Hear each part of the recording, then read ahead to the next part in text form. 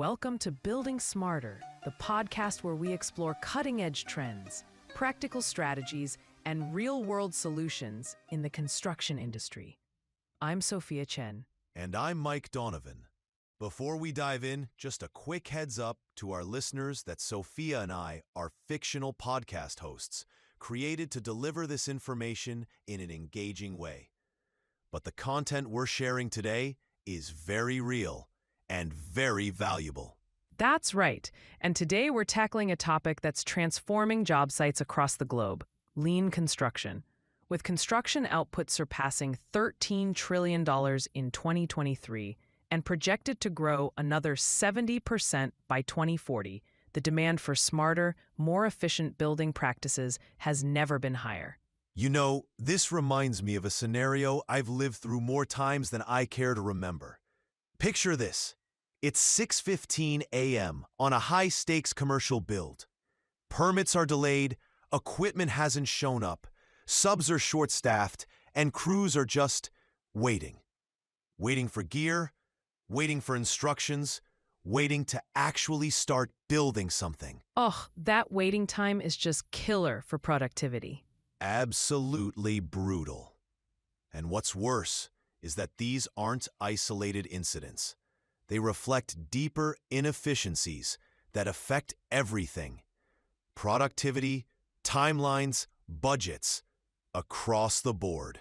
And that's exactly where lean construction comes in. Today, we're breaking down what lean construction is, the core principles behind it, how to identify waste in your operations, and most importantly, how to implement these practices on your own projects. So let's start with the basics. What exactly is lean construction? At its core, lean construction is a project delivery method focused on maximizing value while minimizing waste across every phase of the construction lifecycle. It was inspired by lean manufacturing principles pioneered by Toyota back in the mid 20th century. Right. But it's not just about copying what worked in car factories. Lean construction adapts those ideas to the unique challenges we face in construction unpredictability, fragmentation, and high variability that often get in the way of efficiency. Exactly. It requires rethinking traditional workflows, evaluating inefficient routines, and aligning every part of the process to deliver better outcomes with fewer resources. You know, I've seen this coordination become especially critical on complex jobs where tasks across teams are tightly linked. For example, if steel erection wraps up early, but the equipment needed for electrical rough-in hasn't arrived yet, those schedule gains just disappear into thin air. That's such a good example, Mike. And lean practices help prevent those gaps by improving look ahead planning, updating task schedules, and pre coordinating equipment requests. It keeps crews moving and progress steady. Now, there are six core principles that really define lean construction. I'll kick us off with the first one deliver what matters. This means emphasizing value and delivering only what the end user truly needs. For field teams, this translates to prioritizing core requirements over non essential add ons and ensuring the right equipment is available when and where it's needed. By cutting out non critical elements, projects stay on track and resources are used where they matter most. The second principle is keep work moving. This is all about maintaining uninterrupted progress across crews, tasks, and equipment. When one thing stalls, like a generator not arriving on time, it can derail entire sequences of work. The third principle is cut the waste, which we'll dive deeper into in a moment. It's about eliminating tasks, materials, or processes that don't add direct value to the project. Fourth is improve as you go. The idea that better outcomes come from continuously refining how work is done. This isn't about massive overhauls, but rather small, frequent adjustments that add up over time. The fifth principle is one of my favorites respect the crew's feedback. Those closest to the work are often best positioned to spot inefficiencies, safety concerns, or coordination issues early. When field teams are brought into planning discussions from the beginning, they can surface risks and suggest adjustments before problems escalate. And that leads perfectly into the sixth principle think like a system. This means viewing project delivery as an interconnected system, not a set of isolated responsibilities.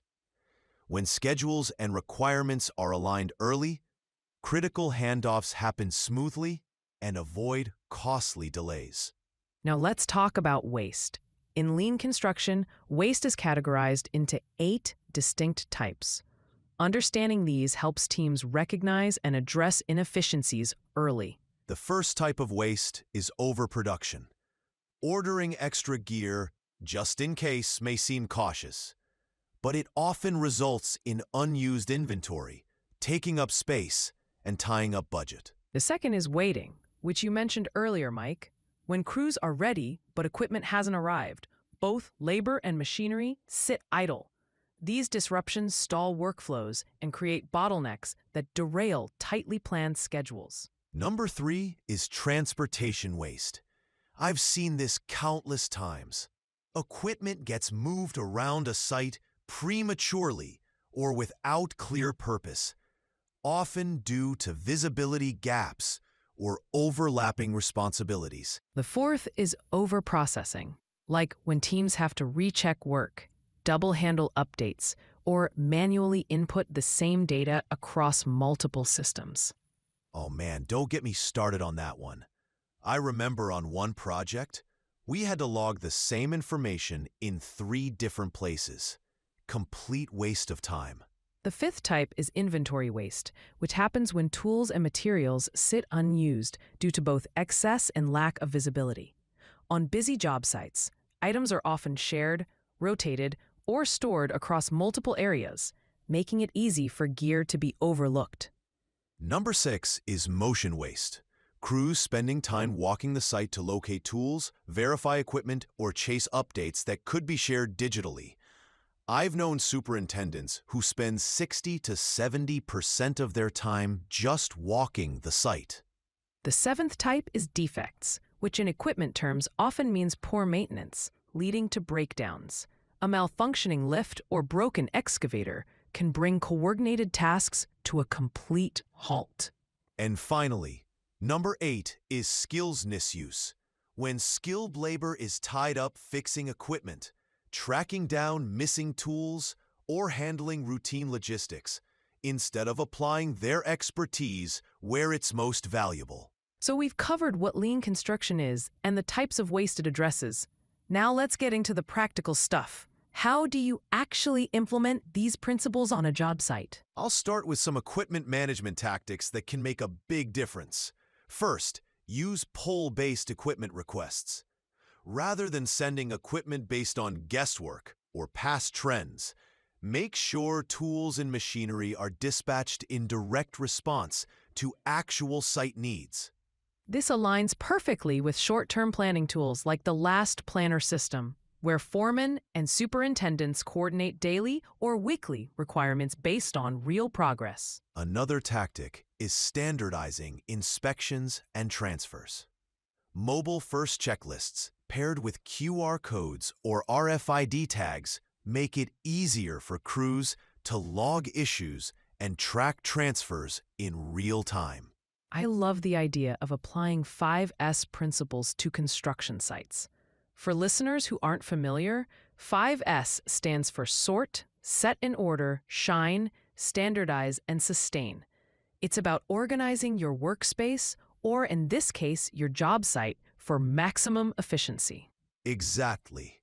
When you group tools by category, clearly label storage zones, and use color-coded tags to indicate equipment status, it's much easier for teams to find what they need. I've seen crews save hours each week just by implementing basic 5S principles. Another key tactic is implementing just-in-time delivery of tools and equipment. This ensures that everything arrives precisely when required, keeping staging areas clear and operations streamlined. And don't forget about digitizing request and dispatch workflows. When a foreman can submit a request through a centralized platform, equipment managers can quickly check availability, approve assignments, and schedule deliveries without delays. One of the simplest but most effective tactics is having equipment managers join planning meetings and daily coordination huddles. When they participate, potential conflicts can be identified and resolved before they impact progress. And finally, use value stream mapping to pinpoint inefficiencies. By mapping out the full life cycle of equipment, from request to return, you can uncover where delays or missteps occur. Now, let's talk about how to actually implement lean construction in your organization. The first step is to start with a pilot site or workflow. Choose a specific job site, project phase, or equipment related process where you can apply these principles. That's crucial. Don't try to overhaul everything at once. A successful pilot builds internal buy in and sets the foundation for broader adoption. Next, map the workflow using value stream mapping to outline how equipment related tasks progress across teams and phases. This helps uncover handoff delays, redundant steps, or unclear responsibilities. Then identify a change agent, someone to lead the lean initiative and coordinate efforts across functions. This person helps align departments, facilitate communication, and ensure that lean practices become day to day operational habits. The fourth step is to adopt pull planning and the Last planner system to align work with real time site readiness. This ensures teams only commit to tasks that can realistically be completed. Step 5 Digitize and standardize. Replace fragmented paper based processes with mobile first tools that centralize equipment requests, approvals, and tracking.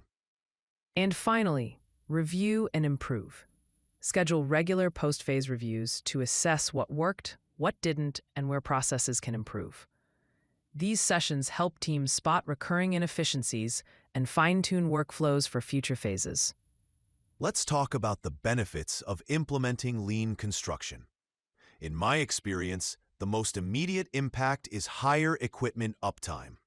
When machines are properly maintained and scheduled, they spend more time working and less time sitting idle or in repair.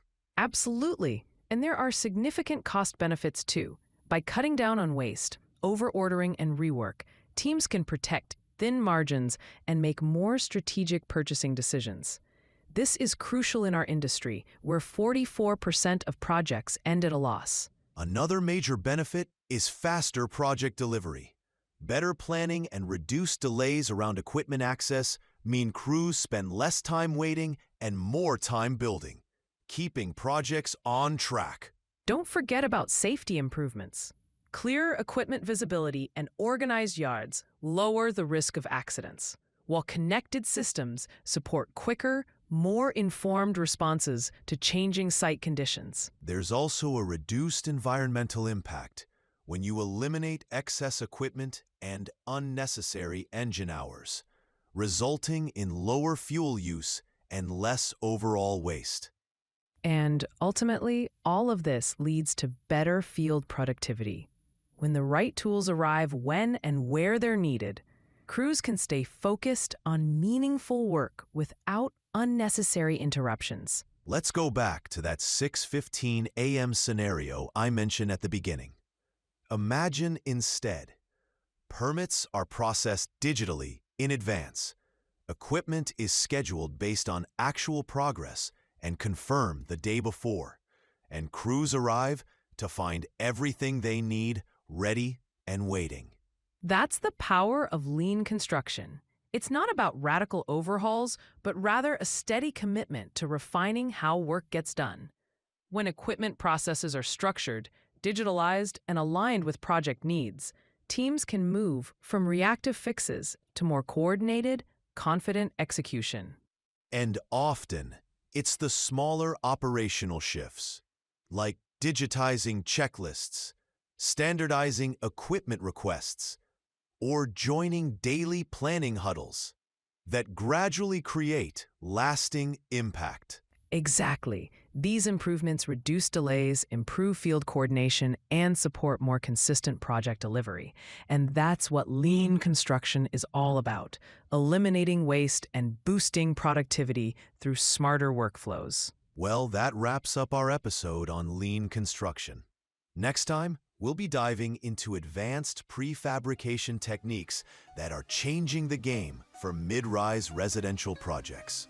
Don't forget to check out our website for additional resources related to today's topic, including checklists and templates to help you implement lean practices on your own projects. Thanks for listening to Building Smarter. I'm Mike Donovan. And I'm Sophia Chen. Until next time, keep building smarter.